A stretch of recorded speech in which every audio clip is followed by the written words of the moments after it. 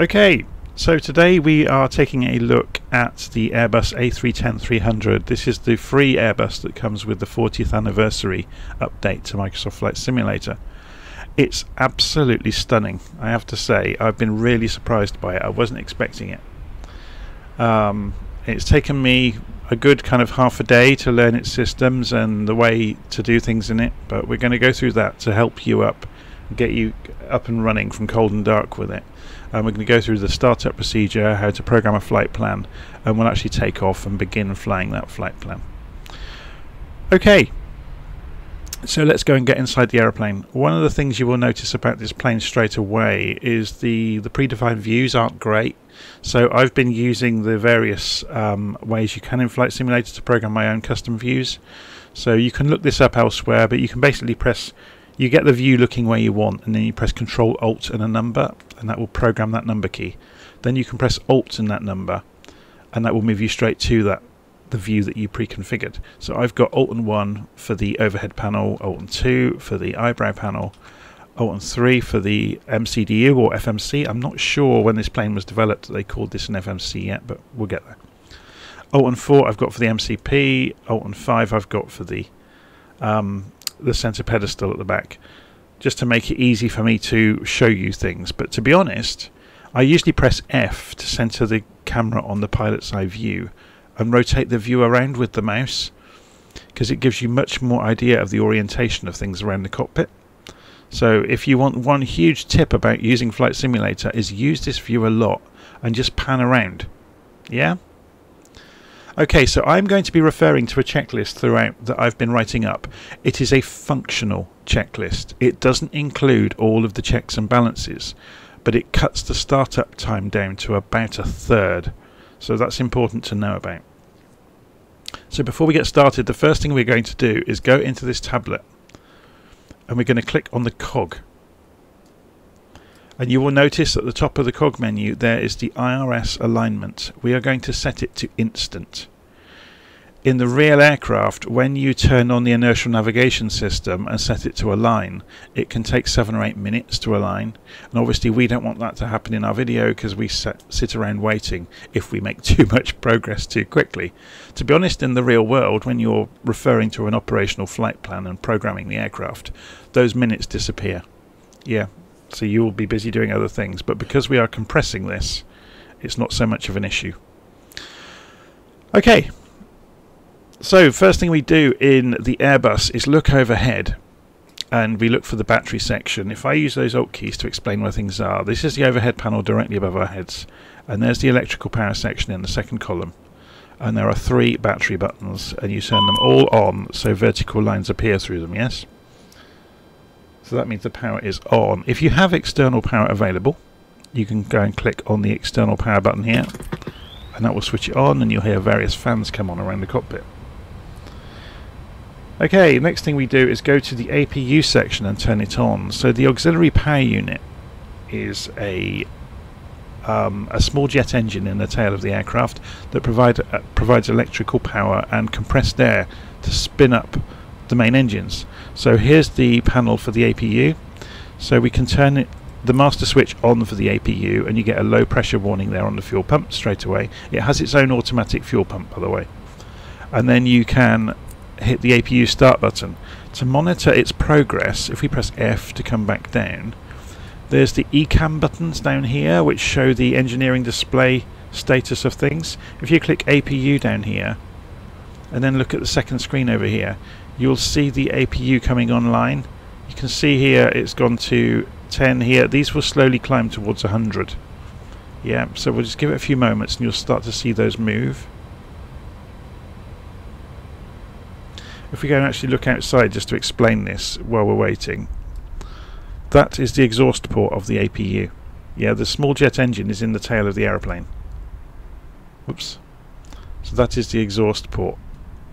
So if we go and look back inside, you will see those climbing fairly soon. So if we then, the next thing we need to do is go up overhead. There we go, they're starting to climb. I was starting to get worried then. So it takes a while for the ignition sequence to happen on that, that little jet engine. So we're going to go back up overhead. So I'm going to press Alt and 1 to get my predefined view. And we're going to turn on the inertial navigation system. Now there are three of them across the top of the cockpit. Looking from the pilot's eye view, they are right the way at the back of the overhead panel. Yeah?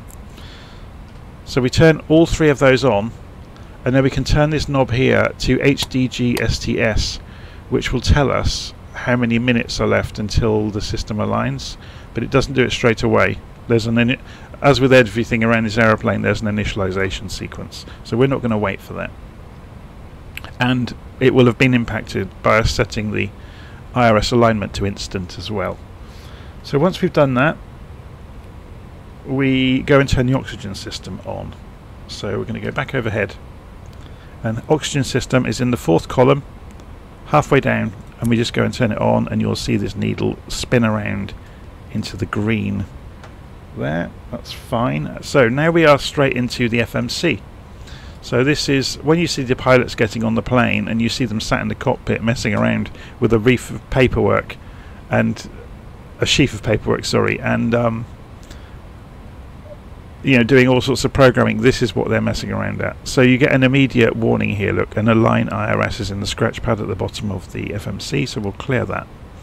So it's saying nav ACA downgraded that's fine so then I'm going to press Alt and 3, which is going to just center my view up. That's one of my pre-programmed views. So now we can see the status page of the FMC. It's just telling us dates and versions of databases, that kind of thing. So we go to the init page. So we need to put in where we're going from and to immediately. So we go and put in EGSS, which is the ICAO code for Stansted Airport and we put EGPH. So notice we are copying the format of the from and to up here with a slash in the middle. EGPH is Edinburgh, so we're going to drop that in. And then we click return. So that's programmed that in. Notice as soon as we put from and to in, a line IRS has appeared. That's what we were looking for. So then we click the soft key next to that and it disappears. And now it says we're using the GPS primary system. That's just a message so we can clear that out. Notice when there was a message there, there was also a light here saying message. Okay, so we can give ourselves a flight ID, so I'll just call my flight, um, what should we call the flight? JB123.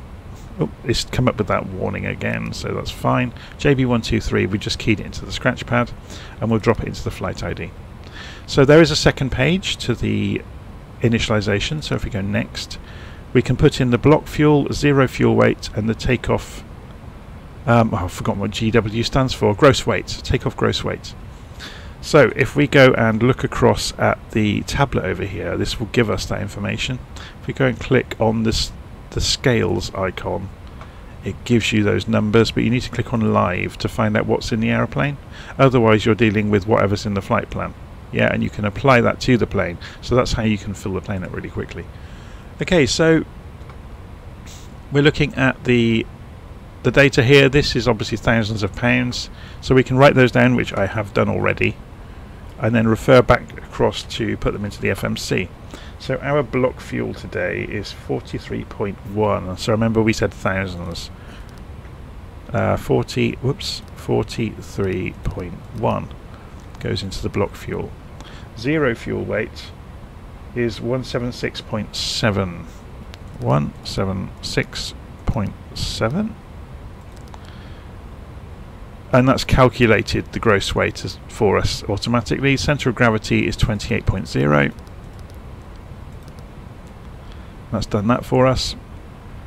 Okay so we, if we go next page again we'll come back to the front page. So we've basically done that. So now we go and program our route so if we go into the flight plan page, if we go and click on EGSS, which is Stansted, we can choose our standard instrument departure. So we can say runway 22. It's just, oh, it's worth pointing out. I'm going to be flying this route, so you can see this here.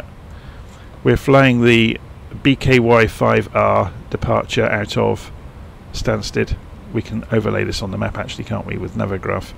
So we're flying this standard instrument departure and then once we get up to Edinburgh we're going to fly this um, standard approach route. Um, and we're going to fly via the Trent VOR in the middle of the route. Okay, so just to give you some visual reference of what we're programming. So we're leaving on runway 22. We're doing the BKY5R standard instrument departure. Now, there's an important mistake I made the first time I recorded this video. I click return at this point. You don't, you have to click insert. It's kind of, this shows some evolution in the system because they've put like progress kind of buttons on the right hand side in later versions of this. Usually the left hand side means reverting or going back. So that's something that they've changed. So that inserts those legs into the flight plan. So then if we go back um, we can push the flight plan through with the arrows. There's another change here, look. It doesn't put the destination airfield always at the bottom. So you do have to scroll through to get to it. So EGPH, we're going to set the star going into um, Edinburgh. So we're going to go ILS runway 24 and we're going to go the AP, AGP E1E standard approach route and we're not going to bother with transition and we're going to return I've done it again haven't I star ILS AGP E1E insert okay so now we can push the the legs either way by using the arrow keys. So when we press this, it pushes the screen in the direction we push it. Notice we have a discontinuity in the middle of the route. So that corresponds with this middle part of the route between the SID and the star. So all we're going to do is insert the TNT uh, VOR in the middle. So we key in TNT into the scratch pad, we select where the discontinuity is, and there are many TNTs in the database, so it's the third one we want, because that's got the correct um, latitude and longitude. So we'll select that. And that, notice that has pushed the discontinuity down but it's inserted it on top of it essentially. So then we can clear the discontinuity and that's got rid of that. So we now have a functional flight plan okay the one thing we haven't done if we go and look in takeoff approach now is put in the, the data in here. Now the aircraft has a calculator for this. So this is your rotate speeds essentially. So if we go and look in the tablet and click on the aeroplane, it has this calculator. So TORA is um, takeoff runway available. I can never remember all these acronyms. So we can go and check that if we pull up the information for Stansted. We want runway 22, don't we? So if we go and have a look, if we open the airport information on it and look at runways, runway 22 is, uh, it's got it in meters, that's not really useful to us. If we open the, the chart for it, uh, runway 22, where's runway 22? There we go. Oh, that's the approach. We don't want that. We want... Here we go. 10,000 feet. 10,003 feet of usable runway. So we can come in here and we can put in 10,000. We can put in the, the runway direction. I know in advance it's 222 degrees. We can put in the wind on the day. So do we get the METAR in here for Stansted. METAR 167 knots. So we need to put in 160. Ooh, that's interesting. 16007. So you, you forget about the slash and just keep keying. Outside air temperature. Does this give us that as well? Is 12 centigrade, 54 Fahrenheit. So it wants it in centigrade. So we type key in 12. And it wants the barometric pressure at the moment. So it's 1028. That's in hectopascals though. We want it in inches. So it's 3035. 3035. So we've got all of the data in. Oh, we need our, the gross weight of the aircraft as well. So gross weight was 219.9. 219.9. So at that point we've filled everything in and we can click calculate and it gives us our rotate speeds. So 135, 135 and a flex temperature of 59 if we choose to use it. And V2 comes out as 154. So let's go down to here. So 135 and 135.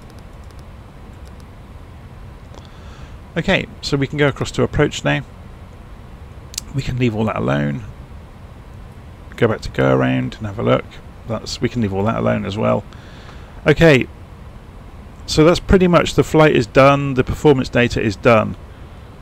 So what's next on our list? I'm just going to have a quick look around. So yeah, we're back overhead now, getting rid of the no smoking signs and things like that. So on the eyebrow panel, you've got the no smoking signs over here, and the seatbelt signs over here. there we go to the flight recorder section so that's overhead and we turn on this GND CTL button on the flight recorder um, I'm just referring to my paper list now I'm looking across the desk and it's becoming quite difficult to look backwards and forwards okay so in the lighting section we come down here we need to turn the strobes to auto and the nav and logo light to setting number one. We then turn on the trims. So the yaw dampers, the pitch trim and the ATS, which is I think it's automatic trim system. Okay, those will not switch on by the way. Excuse me, those will not switch on if um, the alignment hasn't already happened of the inertial navigation system. One way of knowing if that's happened is if you've got an attitude indicator showing up, then you have aligned. Yeah. So let's go and press Control 2. Or another thing to, to point out down here is once you've programmed your route and you've got any rid of any discontinuities, it will appear on the flight plan. Okay. Oh, sorry, on the um, EFIS display. So then you can play with the the zoom knob for example and the the various modes so there's plan mode if we go and look on the legs page uh, where is it flight plan page notice when you're on plan mode if you're in the legs page if you move this up and down you can step through your route. Yeah? So you can have a good look at your route to see how it compares to how you imagined it was going to look which is always useful. So we can come back to map mode which is your default mode for flying which is oriented to the aircraft okay so sorry I'm getting sidetracked here aren't I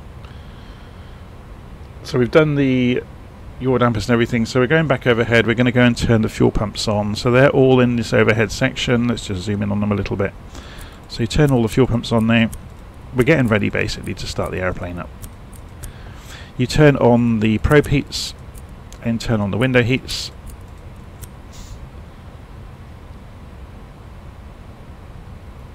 Uh, we go and set the emergency lights to armed.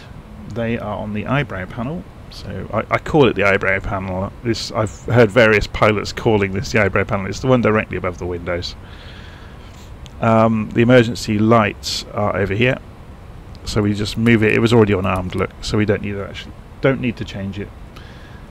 APU bleed. We're going to turn it on. So this is rerouting the compressed air from the small jet engine on the APU to the main engines to spin them up. Okay. So then on the master control panel we have to go and set our decision height as well. So that's in here, you go DH and you set it to minus 5 for takeoff purposes. You also calibrate the altimeters, so press B to do that as a shortcut, but obviously you can use the calibration knobs on them. There's one over here as well, so there's a co-pilot one, pilot one, and the standby altimeter. We set the landing elevation, which again you might revise while you're in flight, so that's going to set the height of the ground at the destination. So we go and check that APU screen again on the ECAM to see it's all fine. Uh, we go and because we are running on the APU now we can turn the external power off. So APU is up and running that's why we checked it. So then external power can come off. And at this point we can start the engines. I'm going to do this from the pilot side view because it's easier because I need to flick around quickly. So there's an ignition system. The engine starter switches are just above the the windscreen in the center.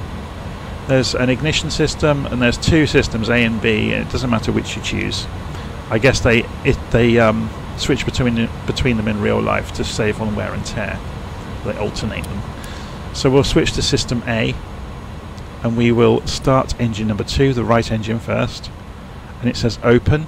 And if we look down on the dials down here, you can see N2 or the gas turbine speed is coming up. So that's the compressed air spinning up the engine, and it's in percentage of its nominal or full speed.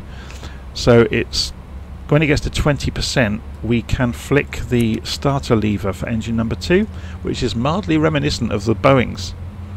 And it will continue on past 20%, the exhaust gas temperature will rise, and the turbofan speed will then increase. When the engine comes up to speed, you will probably see the lights flicker, because crossfeed happens automatically in the Airbus. So when the engine is pr producing electricity, there you go. So the right side of the aircraft switched over to using electric from the engine. Yeah. And up above, that switched back from open to armed. So we can then start engine number one. So that open switches to open. And again, same trick again. We're watching the N2 number climb. When it gets to 20%, we will flick the start lever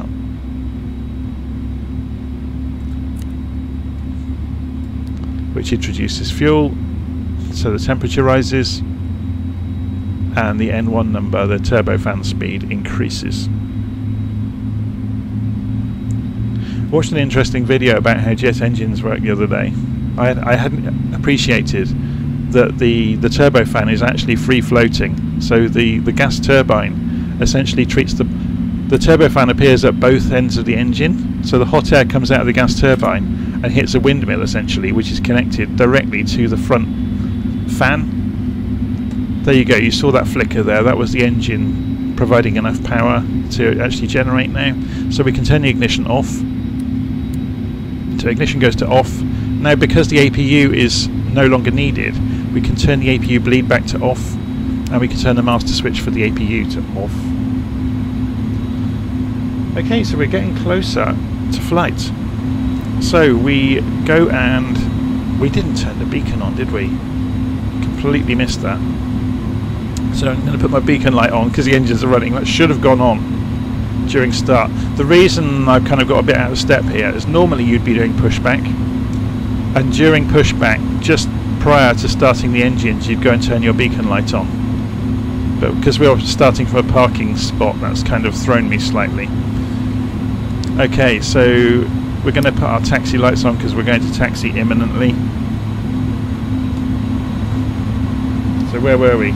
We've armed the speed brake. We put the flap, set the flaps for takeoff. So two notches down is 15 degrees, which agrees with what the performance calculations said. And we can taxi out basically, so we can come off the parking brake now. And the plane has a very small amount of positive thrust. You can see that immediately. So I've started steering. On our way out to the runway we can go and set the master control panel configuration. So we're going to set the speed for takeoff.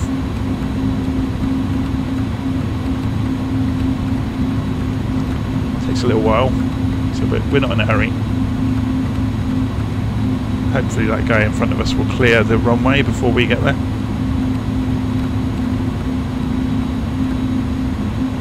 Oops. Okay, so we'll do an initial climb out to 12,000 feet just to give it a number. I'm not doing this according to an operational flight plan, making it up as we go along. We know the heading is 222 degrees. Oh, he's waiting for this plane to come in, that's why.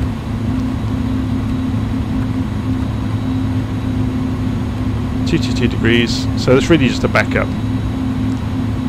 Um, vertical speed, we can set vertical speed.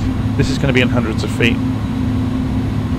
So we could go for a thousand feet a minute. Or 2000 would, would probably be better. We'll put the 25. There we go. There's another one coming in. He's coming in like a missile. He seems a bit fast to me. Yeah, he's doing a go around.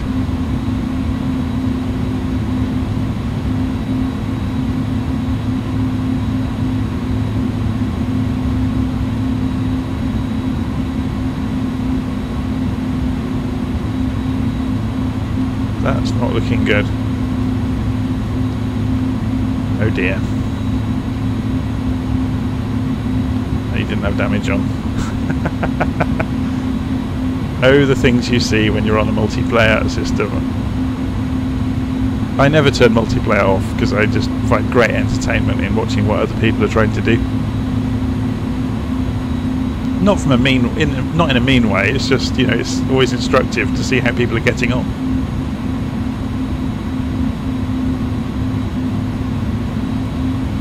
So we'll be a good citizen. Oh, I was going to say we would. I think the guy that crashed has just respawned.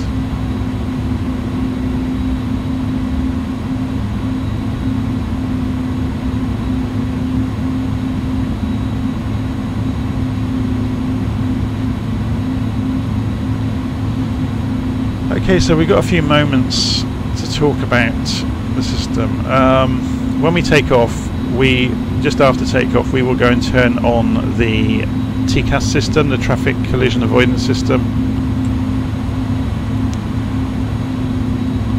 Also, after we rotate on the runway, we're going to go and, after a little way climbing out, we'll trim the plane out and then turn the autopilot on and hopefully it will obey our instruction. So he's having another go, look. Uh, it's not going so well again, is it? Okay, let's get our flight sorted out and stop worrying about other people.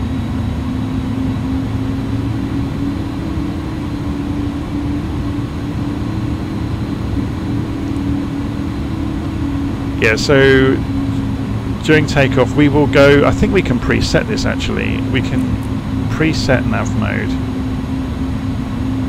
Can we preset vertical speed mode? I don't think it will let us. Interestingly, you can preset level change. I'm not sure if it will obey it. We'll find out. We can't preset auto throttle until the autopilot's actually running.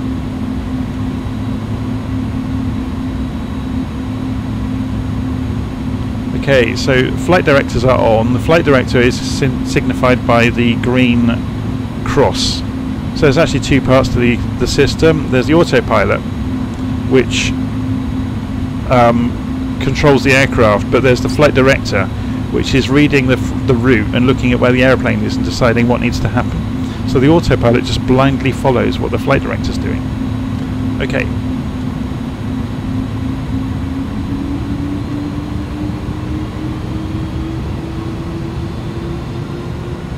So I've i am not using the TOGA buttons or anything like that because I want to illustrate.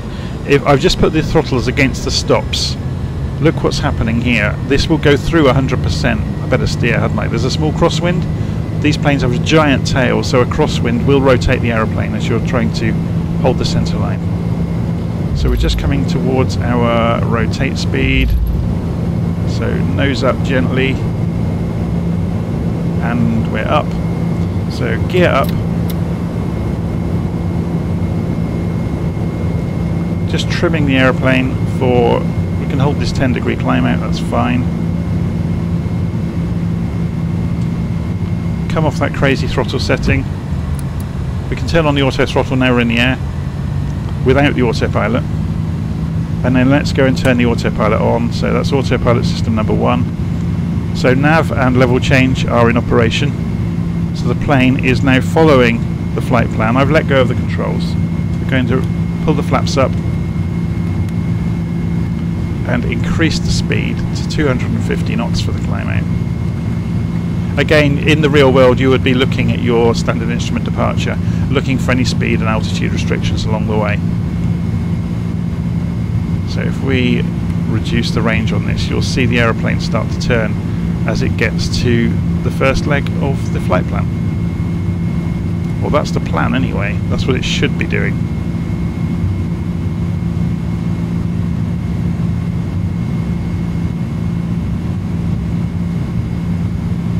There we go. So the, we've gone through the leg and the flight director has said we need to turn right and the autopilot is then making that happen. So there you go. There's your basics of getting the A310-300 into the air. Hopefully that's been instructive for you. Obviously I'm not going to make you sit through the whole flight because that'll be quite boring. But yeah, hopefully that's been instructive. There's obviously a world of more information about changing flight plans en route and you know adhering to instructions and reprogramming and everything else but that's the very basics of getting the airplane up and running. Obviously, in a, a well simulated airplane, things can go wrong and they will go wrong. So you end up having to. Oops, didn't mean to do that. You end up having to know how to work around problems. But we're not going to get into too much of that today. This was just to have a look at how it works. Notice in the earlier versions of the Airbus the throttles moved, it wasn't just a digital throttle. So it's very much like a Boeing in that respect. Also notice the ILS um, frequency there is in the middle. It's a separate control than the VOR radios. It's worth knowing about. New cruise altitude, flight level 120. Yeah, we've done that. So it's climbing out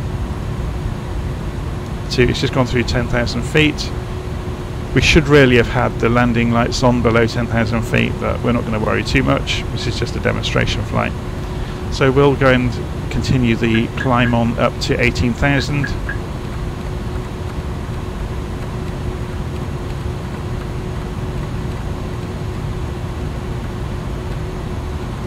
Guess we could be nice to the passengers now and say you can go to toilet. so we just say level change on 18,000 feet. The auto throttle will maintain that. We can go faster now because we're above 10,000 feet. So just adhering to a few rules here. Let's go for 300 knots. So you can see the aircraft is climbing. You can see it's slowly accelerating now.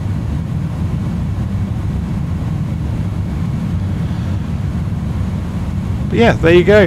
There's the Airbus A310. So hopefully you found that interesting and we'll do a full flight another day. I need to actually do some learning about it myself. I've only really learnt enough to get it up and running and as I said at the start this was a functional demonstration. There are a lot of checks and balances I didn't do. I cut an awful lot out of the procedures.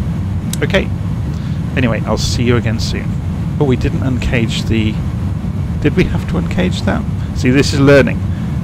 Think, things about, you know, do we need to go and uncage things but it looks like we didn't have to some aircraft you have to uncage the the backup attitude indicator. But yeah, there's there's always going to be something new to learn, and anybody who thinks they know everything are pretty much a danger unto themselves and everybody else. So there you go. And I will freely admit that I make mistakes. I made a mistake in the first version of recording this video, a pretty serious mistake. So, so there we go. I'm going to leave it there, and I'll see you again soon.